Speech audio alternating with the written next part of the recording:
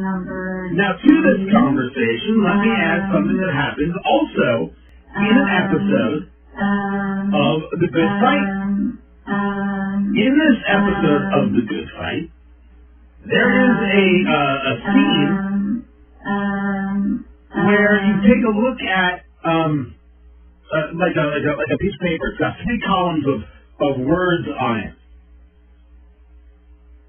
right? Got these three columns of of words in in in the episode. Um, and it's a scene from uh, where Diane joined the resistance. I don't watch the show, so I don't know, but that's neither here here nor there.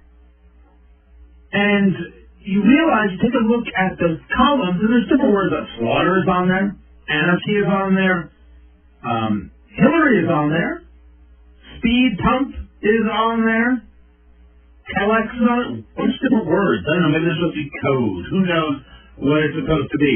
In the first column, the first three words are assassinate, president, and Trump.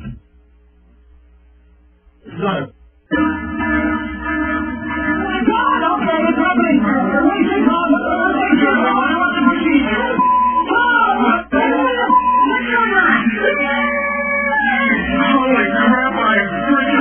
By the way, after that is bomb. Uh, and then uh, in the second column, it's eliminate, and then Mar-a-Lago, and then missile.